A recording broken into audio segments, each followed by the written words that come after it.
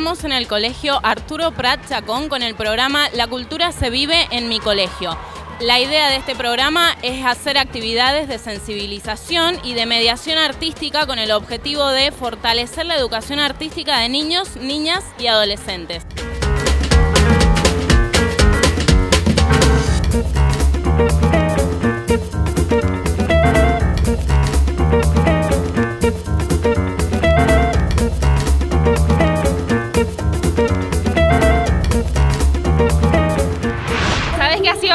Los chicos están súper entretenidos, eh, la temática es muy importante, una, hace una reflexión pero muy severa.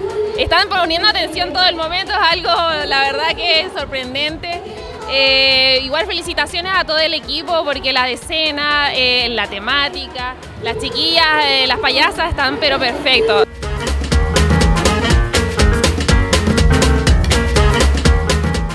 Estamos con Gemita, que es la directora del colegio Arturo Prat Chacón, para que nos cuente un poco más de la importancia de la vinculación entre las obras de teatro y las organizaciones culturales locales y la comunidad educativa. Hola, muy buenas tardes. Mira, la verdad en este momento me encuentro muy emocionada porque veo la participación de los niños. Eh, estas obras de teatro vinculan y acercan a los niños a la creatividad, a, a las emociones de ellos me interesa y les doy las gracias a ustedes por venir por acá porque no siempre tenemos estas dramatizaciones donde hacemos cercana a la cultura. La cultura los niños tienen que vivirla y qué mejor que vengan acá al colegio y no la vean solamente afuera.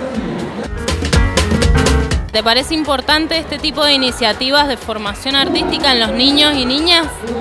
Sí, es bastante importante esto, esta experiencia porque permiten conectarse con el arte salir de las salas de clase y poder tener otras vivencias de educación, que son tan importantes como también matemáticas, lenguaje. El arte es parte de la vida, es parte de la persona y también del hacer comunidad.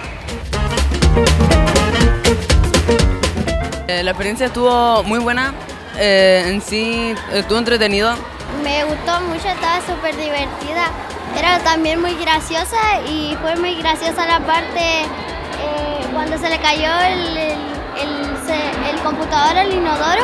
¡Hola! Somos la compañía Circonciencia y hoy día estuvimos muy felices de poder presentar en el colegio Arturo Prat Chacón. ¿Cómo la pasaste, Jayaya? Ay, la pasé increíble y los niños también, eso fue lo mejor. Estaban súper atentos, se portaron maravillosamente bien y participaron en todo. ¡Chao!